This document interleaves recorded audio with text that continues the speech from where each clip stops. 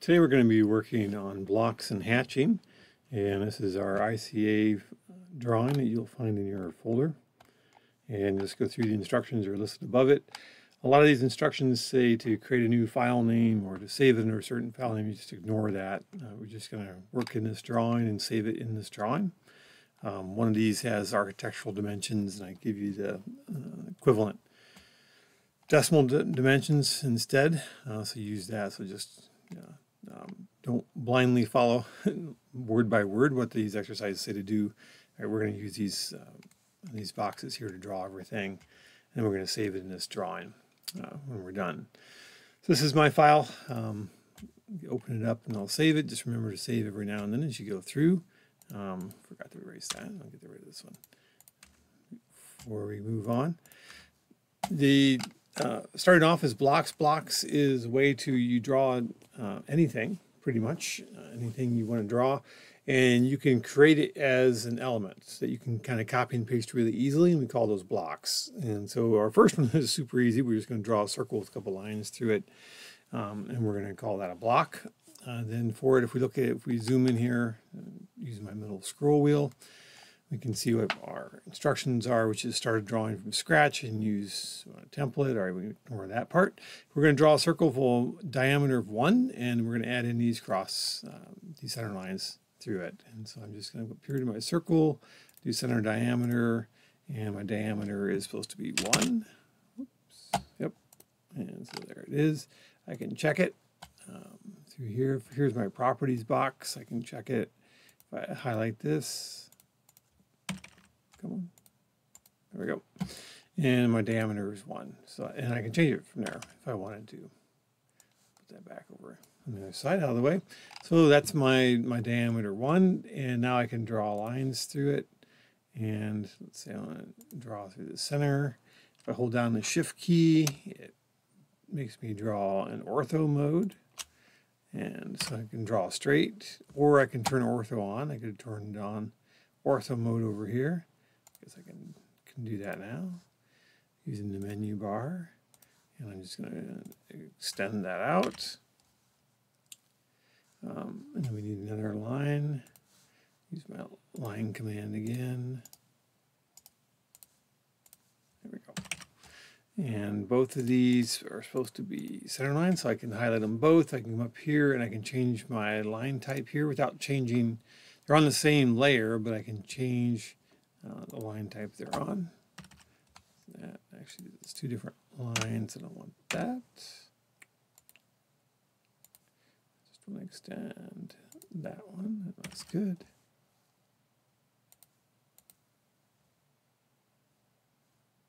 Yeah, that's good enough. There's center lines.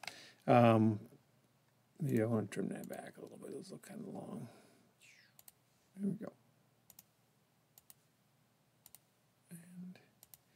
Grabbing my grips. Before I forget about it, I want to turn off ortho mode. I don't normally operate in ortho mode. Uh, you could do a little better job lining those up, but you get the point. And now to make a block, we just type in the command block. And, yep.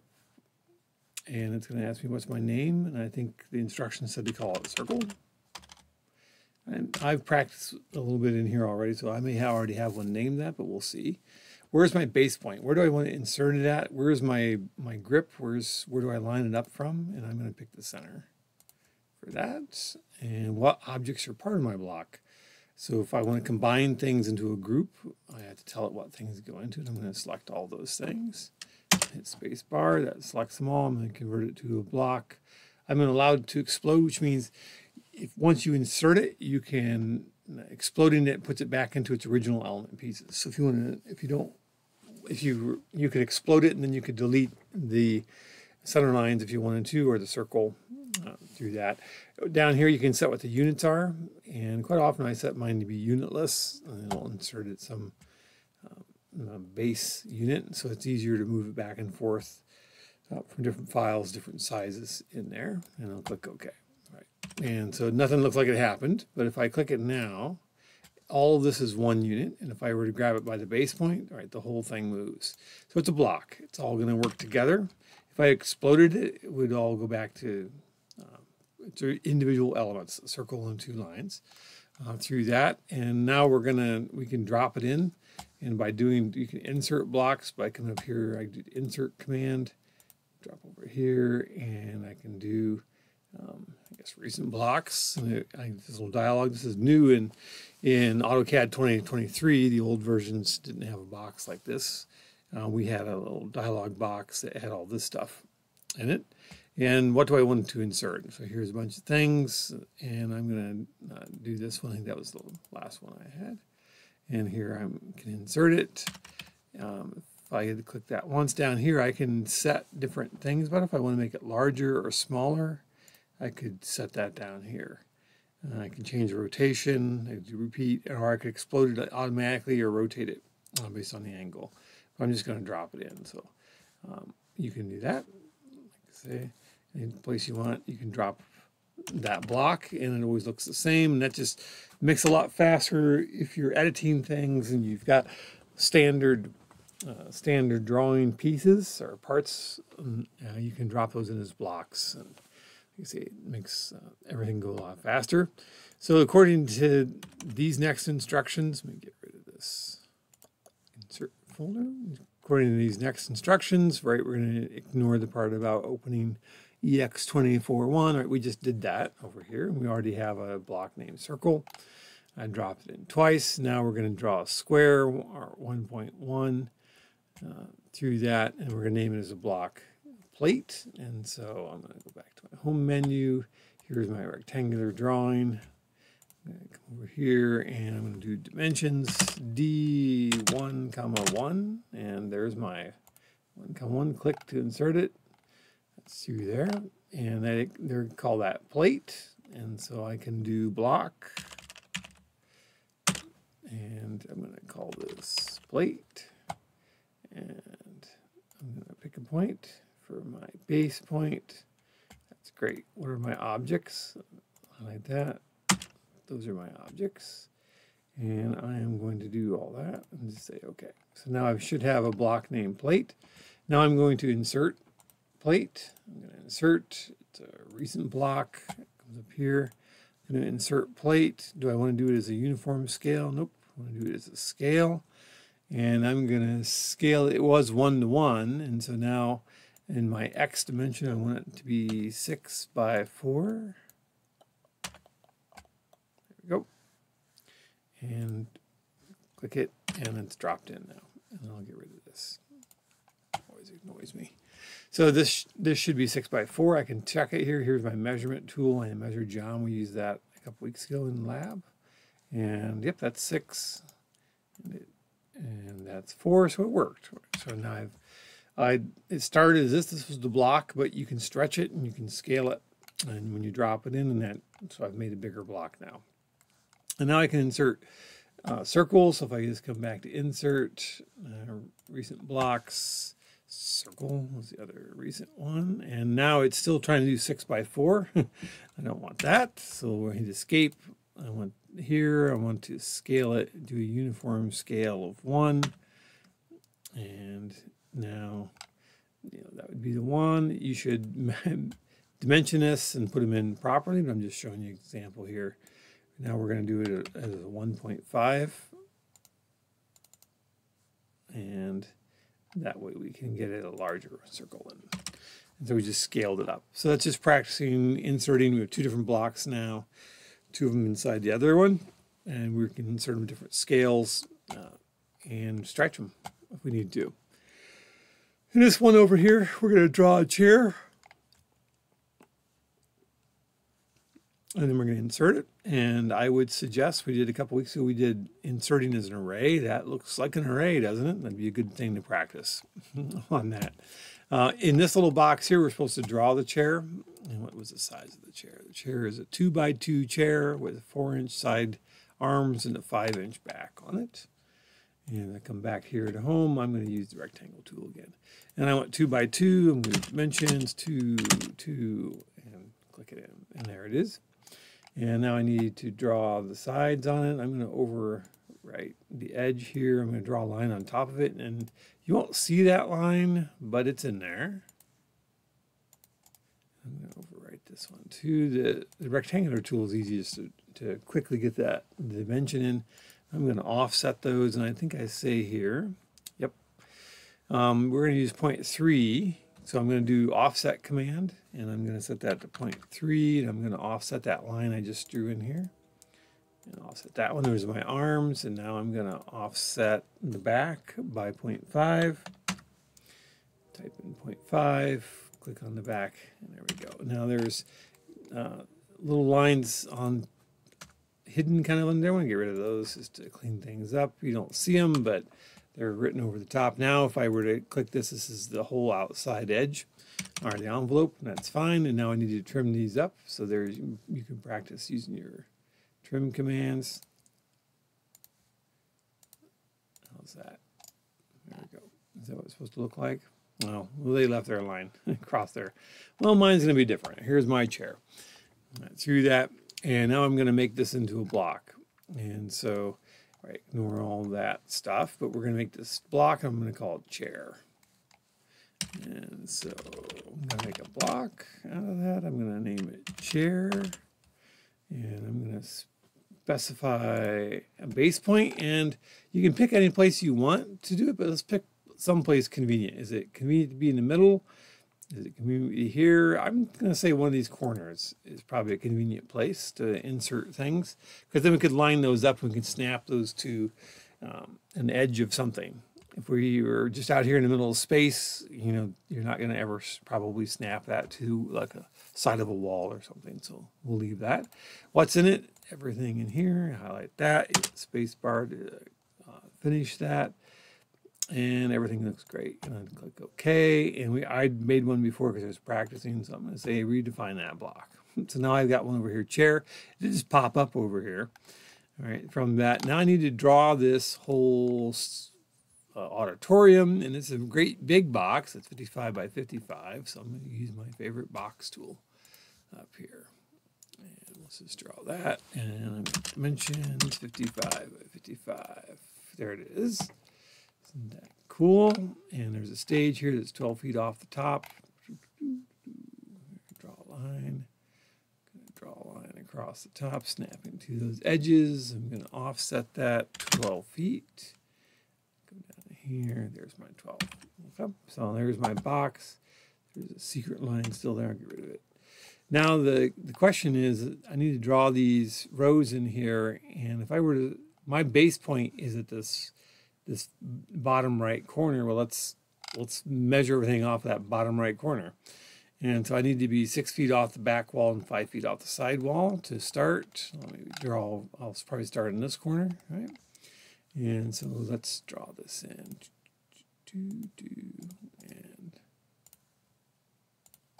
that looks good. I'm going to offset six feet off the back walls, you know, kind of construction lines. And offset again, I'm going to do five feet off the sidewall. And that's just to line me up. So right there is where I want the corner of my first chair. And that's great. So I can do an insert now.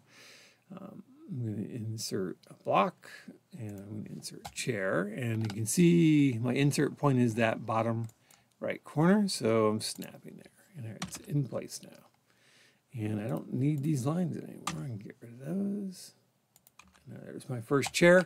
And now uh, how do we do that? Well, it looks a lot to me like a lot like an array. So if I come back over here, here's my array tool. All right. And what am I going to array? I'm going to array that. And it wants to go that direction. And I would like it to go the other direction. So let's go that way. Let's grab this arrow and it drug it over there. Um, the question now is how many rows and columns do I have? And if you count these chairs across, you should get 10. And then I've got one, two, three, four, five, six rows. 10 by 6 rows. And they are four feet in between chairs. And the chairs are right next to each other. And the chair is 2 by 2. So 10 by 6. So I want 10 columns by 6 rows. And you say, well, that looks pretty dense. That's not the same spacing. What do I want between them? I want, um, if I put negative 2 between the columns, that's there's a unit every two feet, and the units are two feet wide, and hence they look like they're right next to each other. So that's great. And it's good negative because we're going back to the left. It wouldn't go to the right direction, but okay. And then these are four feet in between. And if I typed in four and then zoom out, you know, double check your drawing. Right, that's not high enough. That's not far enough up. So it should be, it's that's uh, four isn't just a space between it. That's space, space between marker points. And so here's one marker point and here's the next. It's actually two feet plus four feet, so it should be six. And that looks right. So there. And escape, there's my array right, from that. Now that I've got this array, I can just do a copy. I can, I can click this array and um, wants to do the whole thing. Um, we can do a copy. Where's my base point? There's my base point. I come over here and I would have, or you should measure it to get the set right. Um, assuming that you find your your starting point correctly, right, then you're done. You've drawn the whole auditorium right, from that. Uh, moving along, right, another block one uh, over here.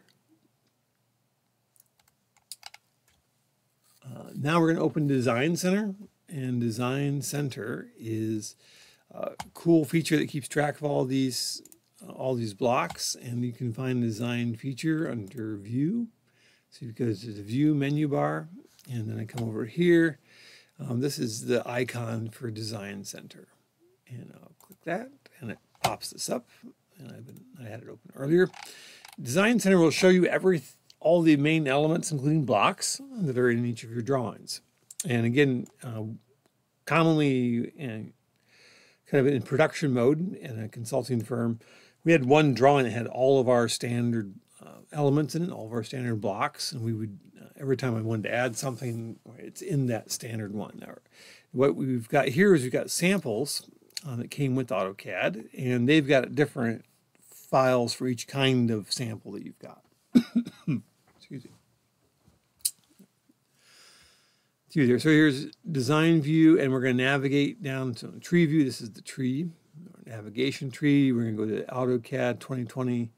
It's actually 2023 now sample ENUS Design Center folder, and I'll tell you where that is. That is in, if you go to your C drive, go to Program Files, go to Autodesk, and we're going to go to AutoCAD 2023. That's where we're at. And we're going to go to ENUS, US English System, and, Need to go sample, and then ENUS sample ENUS Design Center. And here are a bunch of standard drawings that have blocks in them about different things. So if I wanted to draw kitchens, I would go to the kitchen one uh, and so forth. Electronics, all that stuff is in there, and it tells us here that we need to go to uh, Fasteners US and insert something. So if I go to Fasteners US and click on blocks, it shows me over here all the blocks in there. I could also look at all the different layers. There's only one. All the line types, because you can make your own line types in AutoCAD. Maybe that's what you want to find. You can also change your text styles and all that. Well, we're just going to deal with blocks. And most of the time, that's all I ever uh, it's all I ever use Design Center for is looking at different blocks. And I say just pick one, uh, pick anything. Let's do slotted pan head. And we're going to insert it. And I'm going to do my insertion point on screen. I could change the scale of it. I can make it bigger. I could do it in uniform scale. Um, I can make it twice as big. Uh, sure. And we'll come through here and zoom in. All right, there's my little my little panhead screw. and so that's what Design Center is really good for, is uh, finding out all these standard drawings, uh, let you pick things easily. So here's electronics, right? So instead of drawing these each time, I can I've got these set up as blocks. We can use these blocks. We just drop them in. And you can obviously see how much faster that makes things. Here's things for home space planning and what kind of blocks do they have. Well, there's your hutch. There's your lamp and the plant and all that stuff uh, through there. And so they're just going to uh, walk you through this to to use some of the features within Design Center to add your, your uh, portions in here. Over here, you'll draw your table, make it into uh, a block, and then you're going to move those around um, this table. And so you'll have to rotate them. So this is the back of the chair, so you want to rotate it so that's always away from it. And then do your spacing around the table from that. The other thing we can do with blocks is we can make them smart blocks. We can add in details about it. And then when we insert the block or if we want to change uh, text within the block, it makes it easier for us. Here's a standard title block. It's pretty common in a civil engineering world. And you can see that we've, in the standard title block, we have who's designed by, this is initials, people, and who checked it. Here's scales, the name of the project, all that stuff. All right, from that.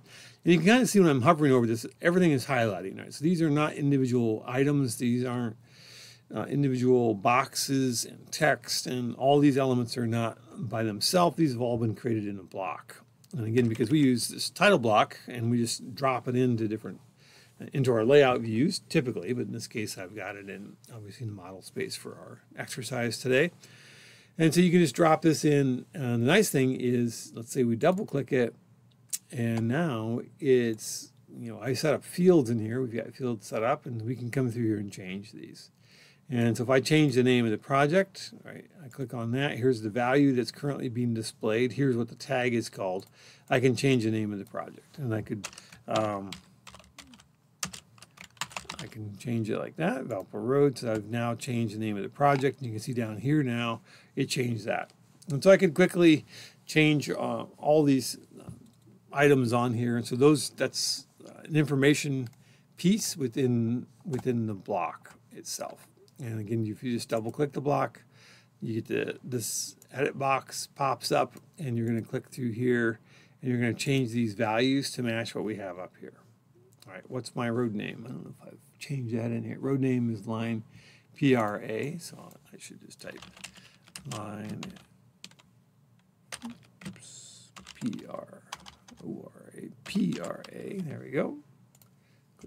And now that changes right here from that. I can't edit that individually unless I were to explode this block. And so this is the quick way. It's actually much easier to edit the, uh, using these information tabs. That's what we do then. All right, from that. I've also got title block um, as a block. And so I can insert that. And so I'm going to do back to insert. And what am I going to insert? Um, recent blocks. And I can flip through here and find title block, or I could do insert um, blocks from libraries and tell it what library to look into, or block or favorite blocks or recent blocks right, from there. And I could set up what my favorites are. I don't have any set right now. Here's recent. Here's blocks that are in the current drawing. And so that's also a fair game um, because we've got that in there. So I here's title block. I'm going to pull it up. And there it is. And it wants to come in at 1.5 because that's what I had my last one at. So let's change that back to 1. Uniform scale, yep. And now when I bring it in, there it is. I'll just set that there. And it's going to um, wants to know if I want to scale or rotate it anymore, but here's 1 is my default. So I'll just accept that. Once I've accepted it, once I drop it in, now it's going to ask me all these things about it because I've inserted it from there. And so my road name, right, wasn't that uh, PRA? And if I come over here, yeah, I change it there. So this one was just getting uh, used to. Once you make a block that has attributes like that, you can drop this in. And then when you do drop it in, it's going to ask you, prompt you um, for what those fields should be. So it's kind of leaving a blank uh, question and it wants to fill in the blanks as you do that. Next one is we're going to draw little gate valves. This is for, I guess, more mechanical engineering, but doing water resources things on that. I'm going to draw a really bad one because I can. Um, I guess I'll turn over someone. It won't be too bad, right? Um, so we're going to do and come up here and there it's, there's my gate valve. Not very good. Do a nicer job than that. All right, so there's my gate valve, and now so that's one element in there. And if you read the instructions now, we we want to come to and do an attribute definition uh, piece in it. We're going to do type, no prompt, gate is the value, and constant is the mode. And so we have to remember that because you can't zoom back up there while this command is active. Um, maybe I should have just set next to it, but yeah, I can't zoom in now. And so uh, the first one is type. There is no prompt. The default is gate. All right, uh, through here. Here's the the types they are. And it's constant, all that stuff. Okay, and we can drop it in here.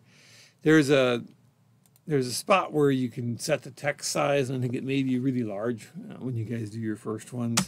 So just that's down here. So if you set your text height, it might be 5.0 when you start. Set it to 1. And I use Roman S because it looks nicer than Roman T. So, and then you're going to make a different, you're going to make these other four tags, and each one of them has a different uh, type of mode. Um, for that, some of them are, are invisible, some of them are invisible and verify, uh, and all that. we'll cancel out. So you're going to set these tags like that. I did one, and now if I do a, so these are different elements. Yep. If I do a block command now, and now I'm going to say gate valve. It's my new one. Specify base point. I'll put it right in the middle. Specify objects. Now when I select the objects, if I select those those attributes, now they're in there, and they've been brought in. And now if I do an insert uh, command insert. Let's go recent blocks. Here's my recent blocks.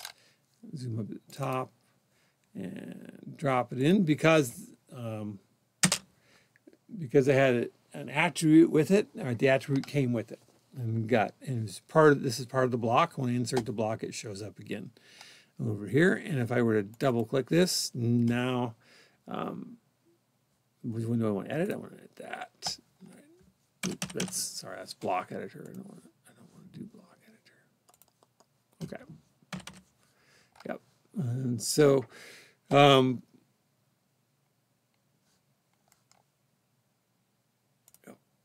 we can hit that.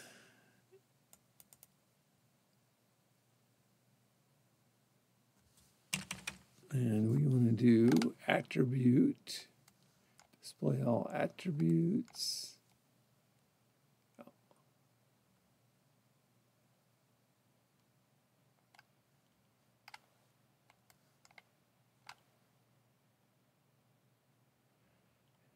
Attribute editor. Click on that.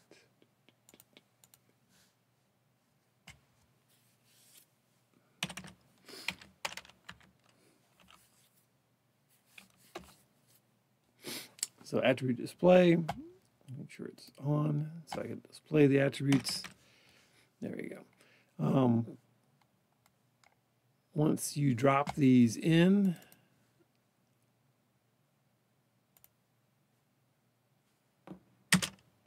right, that. Um, ooh, that was a constant mode, and here's invisible and verify. If I insert another attribute, so that's att um, def. Um, tag was what? Manufacturer, and it's invisible and verify, and default is none. Click OK. And add one more in here. And now I'm going to redefine my block. And block's name should have been gate valve. And I'm going to pick the start point. There we go. Select objects.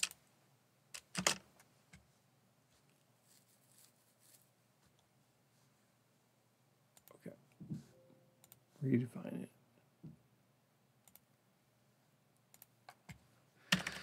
I do need to explode this first because it was already it was already a block, and so it didn't. You can't put blocks inside blocks. Who would have guessed? At least not with the same name.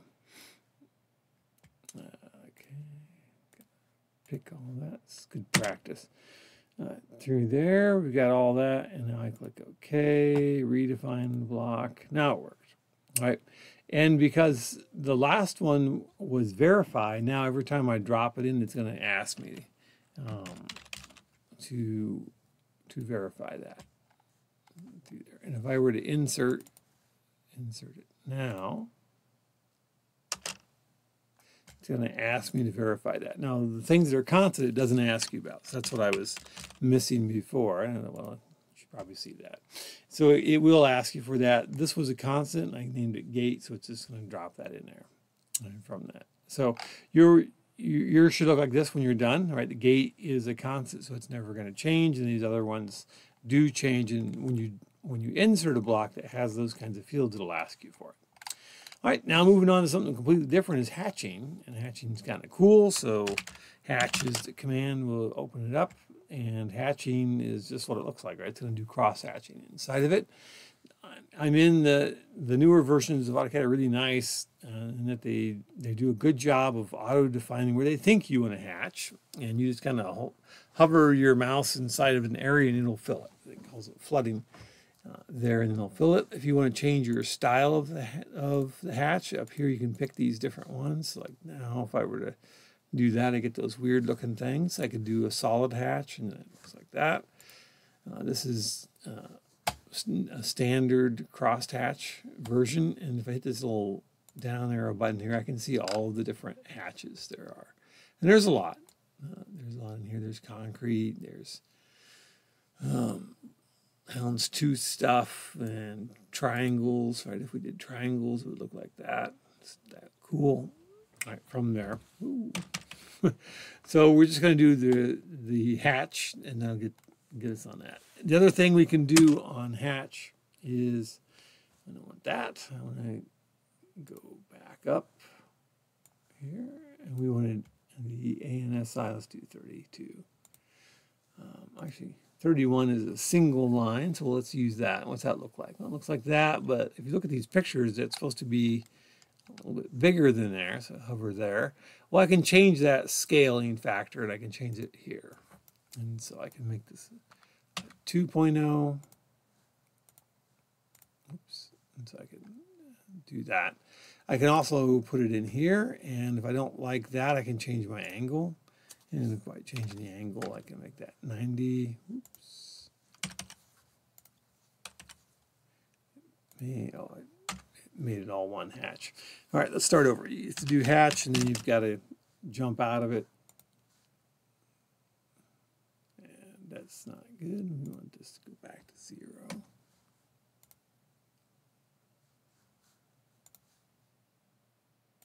Got it.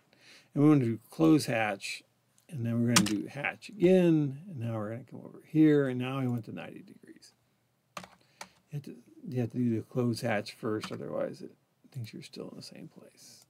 There we go. And now I've got my two opposite hatches. And that's by changing that angle. And if you ever want to change it again, just come back in, double click. You can change the angle.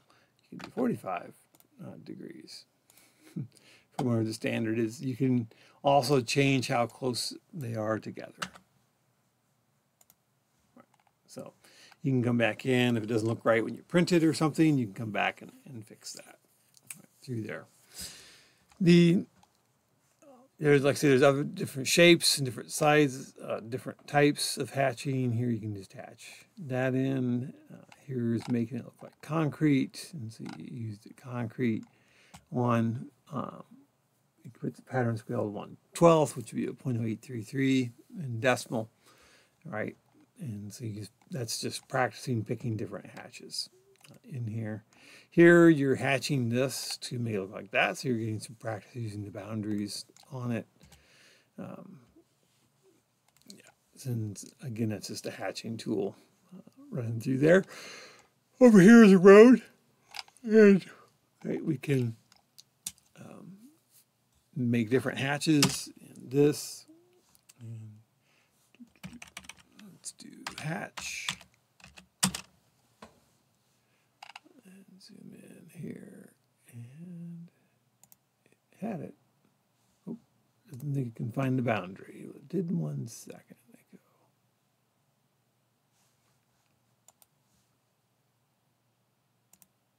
I found that one.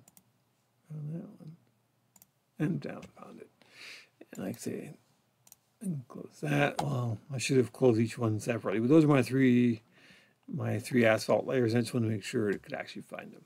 And then finally, you'll do that down here. This is what it should look like when you're done. This is a house. You're going to fill in these walls solid and put herringbone out here on the deck. And it should look very similar to that when you're done. Again, just doing some practice on your hatching. And then I'll take it take us through the lab today. So like it's just blocks and then hatching through there. Um, and then you'll have a homework assignment where you get to practice doing uh, more blocks and uh, moving things around and lining things up. And that's what we used for quite often is actually for space management. It's easy to drop things in. If you looked in the, those sample folders, there's the whole things on kitchen and other furniture. And as an architect, we could go in and put that in into our drawings and see what it looks like as we go through. And that'll do it for today.